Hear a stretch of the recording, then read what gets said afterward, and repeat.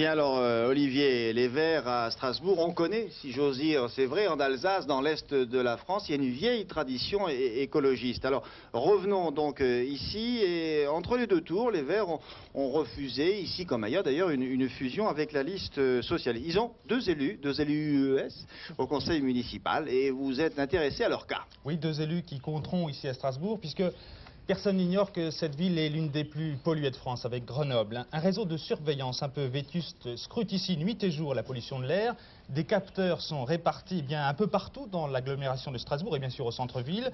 Alors on analyse les chiffres et c'est bien, mais cela n'empêche pas euh, l'implantation de nouvelles usines de part et d'autre du Rhin, de grosses usines avec de grosses cheminées. Je vous propose tout de suite une petite visite guidée dans Strasbourg et en dehors, sans masque à oxygène. Strasbourg brûle ses déchets au grand jour. Nous sommes ici, à 3 km seulement du centre-ville, une odeur insoutenable se dégage. Cette usine brûle 40 000 tonnes de déchets par an. Des dizaines de fûts sont stockés et ne pourront être détruits avant 1990. L'usine est saturée mais placée sous haute surveillance. Dans l'histoire du, du traitement de déchets, on a fermé Urionville, qui était à côté d'une petite commune. On a fermé Saint-Maurice, qui était à côté d'une petite commune. Aujourd'hui, Strasbourg est à côté d'une grande commune, il faudrait fermer aussi. Alors, où est-ce qu'on fait les centres de traitement de déchets industriels? Est-ce qu'on considère qu'on en a besoin? Si on en a besoin, oui. Alors, où est-ce qu'on les fait?